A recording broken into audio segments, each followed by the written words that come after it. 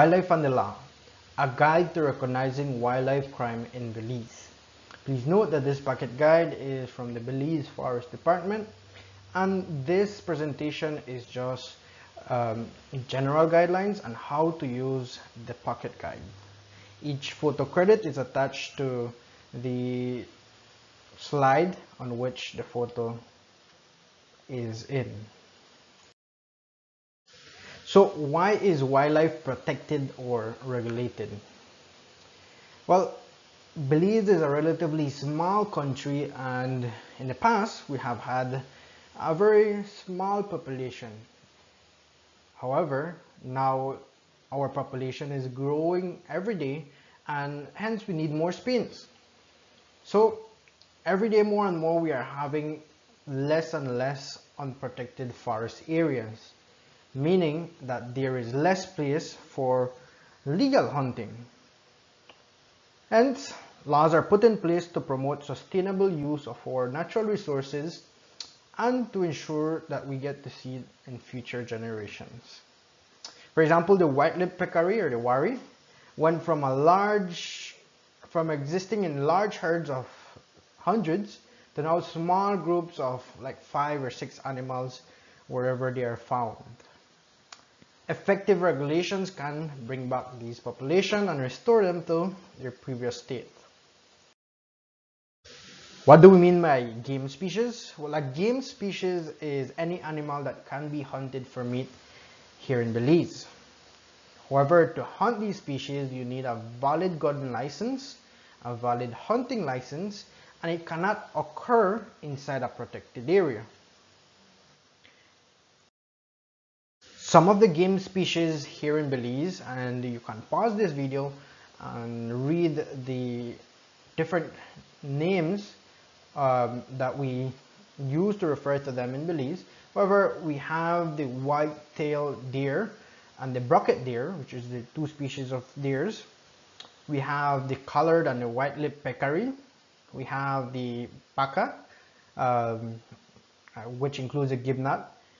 Um, we have a couple game birds like the great curassow, crested guan, ducks and quails. We have the armadillo and we have the green iguana. Now, what do we mean by threatened species? A threatened species is one that is declining. The number of individuals within a given population is going down. As a result of disease or changing climate, but also due to some um, human activities, such as unsustainable hunting and um, irresponsible land use. The International Union for the Conservation of Nature, or IUCN, Red List is a scientific database of species' risk of extinction. The different levels are shown here below you an animal can go from vulnerable right up to extinct. A, vulner, a vulnerable species is where a species um, is declining but not yet endangered. However, if you if no work is done to protect them, it will continue to decline. Endangered species um, are declining at a faster pace and are at risk of becoming critically endangered in the very near future unless uh, hard work is done to protect them. Critically endangered animals um, or species are species that will become extinct in the nearer future unless we work harder to protect them. Um, when a species reach to the level of extinction, it means that there are no more living examples of these species left on Earth meaning our children will never be able to see these in the wild ever again. In Belize, we have um, the Central American river turtle or the hicatee, which is critically endangered, um, as well as a couple other species that are endangered, like the um, tapir, our national animal, the yellow-headed parrot, and both our species of um, primates, the Yucatan black howler monkey and the Central American spider monkey. The law or legislation that governs um, wildlife in Belize is called the Wildlife Protection Act and it's found in chapters 220 of the substantive laws of Belize um, and last has been revised um, in the year 2000.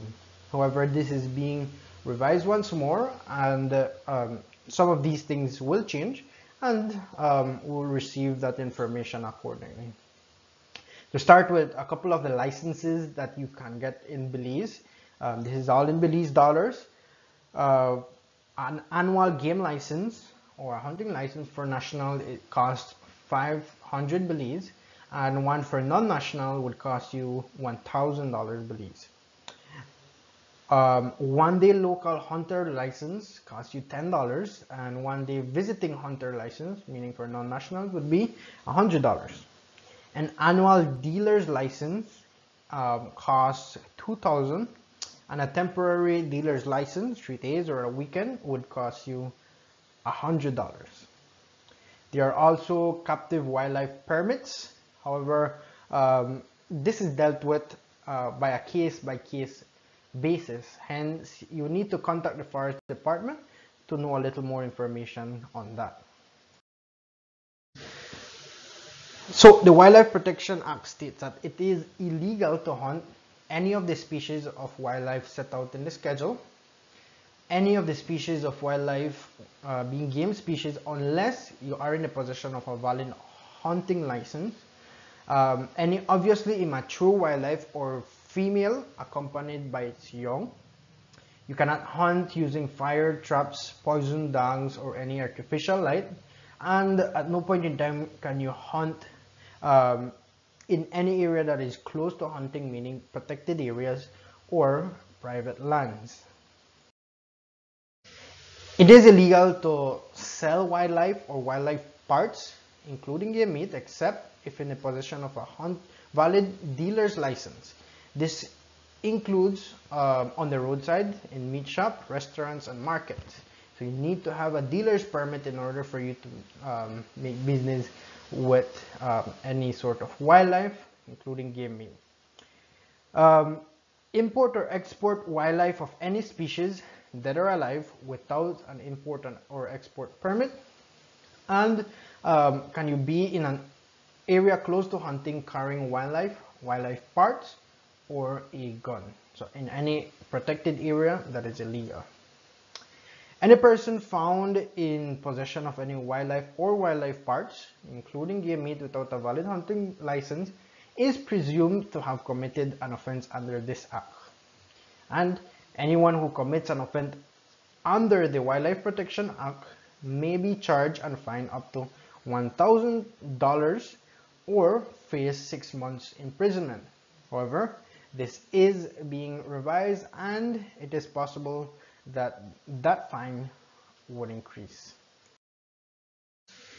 Just a couple of the glossary of terms to let you know what we what we mean by these terms is that wildlife it means all domesticated mammals, birds and reptiles along with their parts, eggs and nests of any of these wildlife forms.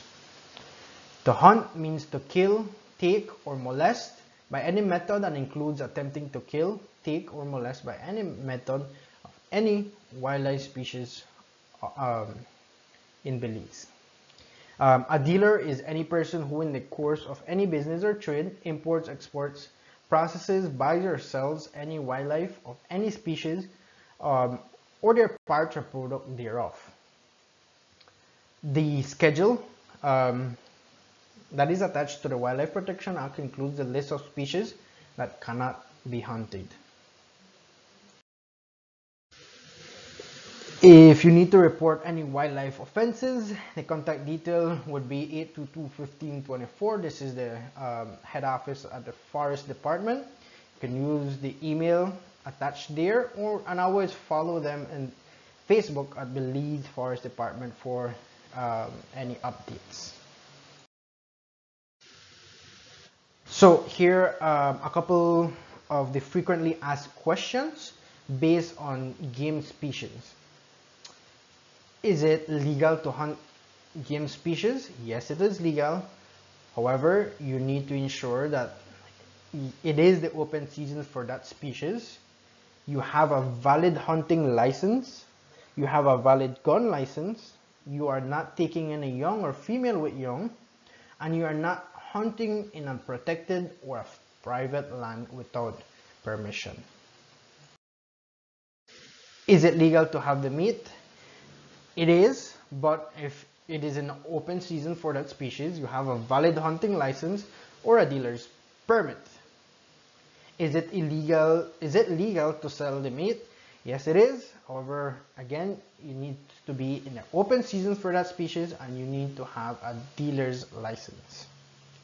Is it legal to keep, transport, or sell live game species, their young or their eggs? Um, in the case of game birds, no, you are not allowed to have young game species, eggs, or parts thereof.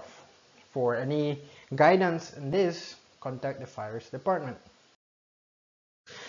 So this presentation has been designed and created in order to assist you on how to use the actual pocket guide. You can already find an electronic version in our website and this presentation is based on the same. This will teach you um, how to recognize the species and it will give you the open and closed season for each. Whenever you see a yellow frame, this indicates game species um, and this species can be hunted if the regulations are followed. An orange frame indicates a protected species meaning that it is fully protected under the Wildlife Protection Act and anyone found with this species is committing an offense. This is a key on how to use the different or what different pages and parts of the pages in the kit. In this case, it is a slide, but in the case of the pocket guide, it is an actual page. Over here, you will find a very obvious picture and easily um, easy identification of the species. So you will find a nice picture here in the middle and all along the page along with its common name um, towards the left top hand corner or the right. The frame again yellow indicates game species um, and an orange frame would indicate that it's fully protected.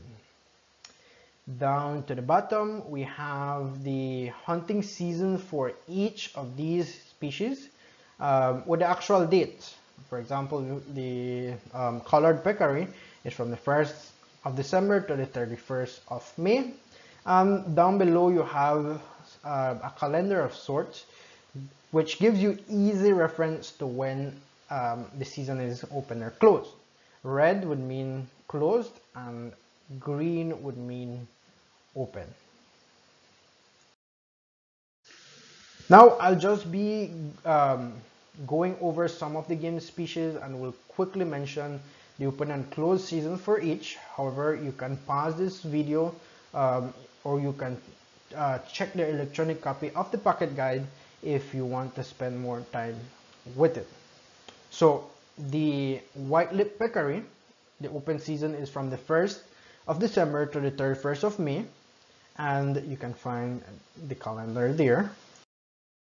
Um, the collared peccary is also from the 1st of December to the 31st of May. For the white-tailed deer, or the, or the red-brocket deer, both species, um, it's separate seasons for male and female. For male, it's from the 1st of October to the 30th of June, and for females, um, it's from the 1st of March to the 30th of June. For the nine-banded armadillo, the open season is from the 1st of July to the 31st of January. For the agouti and the gibnut, the open season is from the 1st of June to the 30th of November. For the green iguana, the open season is from the 1st of July to the 31st of January. For any of the game birds now, um, in this case the crested guan, is from the 16th of July to the 31st of January. For the chachalaca, the plain chachalaca, the open season is from the 16th of July to the 31st of January. For the great curassow, and this includes other game birds such as the black-throated bobwhite, the blue-winged teal, and the lesser scaup, um, the open seasons are from the 16th of July to the 31st of January. Now we come to the orange frames and just some frequently asked questions on these is that is it illegal to hunt, cause harm, kill, feed or disturb any protected species? No, it is not legal to hunt, cause harm, kill, feed or disturb any of these protected species. Is it legal to have or sell the skin, teeth, meat or other parts? No, at no point in time can you have um, or be in the possession of any part of these um, fully protected species. Is it legal to keep, transport, or sell live protected species? No, it is illegal to keep, transport, or sell any live protected species. That is an offense under the Wildlife Protection Act. Parrots are an exception, but only if you have a captive wildlife permit, meaning this has to be this has been issued to you by the forest department. However, this permit needs to be presented when um, you know an enforcement officer requests it. Um, however, you cannot have any, no young parrot chick. Um, you cannot keep or sell them. And scarlet macaws, uh, um, even though they are a parrot, you cannot keep these, right? You cannot sell these or neither can they be in your possession. Now, I will go quickly with these fully protected species. Feel free to um, pause it. I will leave it for a couple of seconds. But all of these species that you see here um, and a couple other more are fully protected and all of these laws apply. First one up is the Antillean manatee. Um, any of our small cats, meaning the ocelot, margay, um, and jaguarundi. These are three or four or five wildcat species and obviously that also includes our large cats which are the jaguar and the puma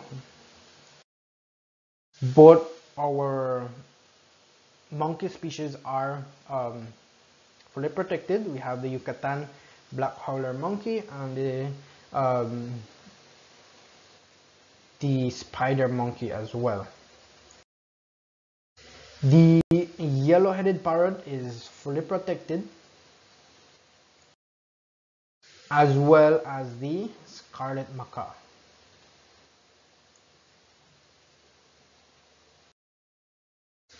Now, a little bit on animal cruelty and it's a bit different um, than the protected species but we do want to mention it.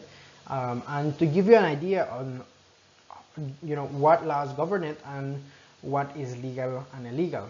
So what is animal cruelty? Um, that includes any physical violence um, any purposeful harm injury or uh, the killing of an animal is termed animal cruelty or it also includes neglect so if you deprive an animal from its basic needs um, that is also a form of animal cruelty. Intentional kicking, burning, stabbing, beating, or shooting of an animal is also animal cruelty and can also be caused by the lack of knowledge of the proper diet and care for a specific animal. Animal fighting, um, which is pretty common in Belize, it's also a form of animal cruelty. The law that governs animal cruelty would be Belize's Cruelty to Animals Act, chapter 115 of the substantive laws of Belize, and has been revised um, in the year 2011. Um, it is referred to it uh, is referred to as the Cruelty to Animals Act, and this act serves to regulate cr cruelty to animals in Belize. While further revisions are necessary, um, we want to share some of these important points. Paragraph 3 prohibits baiting or fighting animals. Paragraph 4, uh, clause 1 says that basic animal needs must be met, including food, water, and shelter. Uh, paragraph 5, clause 1 says that anyone can give care to an animal left without basic needs for more than 12 hours and will not be deemed as trespassing. So if you see your neighbor's dog has been left without care for more than 12 hours, you can actually uh, go and feed the animal or give it water and you are um, protected from any trespassing um, charges. Paragraph 6 of this act says that animal abuse, animal abuse is an offense either carrying it out or allowing it to happen, it's an offense. Ill treatment is further defined to include indirectly putting an animal at risk of being predated on, uh, improper animal handling, and improper capture. This is stated in paragraph 7. And paragraph 8 says that the offender can be arrested once a complaint has been made. Fines are relatively small with a range from $10 a day for neglecting um, to provide proper food and water. Um, and the far extreme is $100 for other offenses. However, um, this will be changed and this will be higher when this act has been reviewed. Now, why is animal cruelty important? Because it also protects us as humans. We have seen um, on various articles like the ones I will state below uh, state that there is a link between animal abusers and other violent human crimes. Um, children can be influenced to commit acts of abuse even from just witnessing these animal abuse. The FBI states that recent research shows a well-documented link that animal abuse is a predicative or co-occurring crime with violence against humans, including intimate partners, children, and elders, and is associated with other types of violent offenses.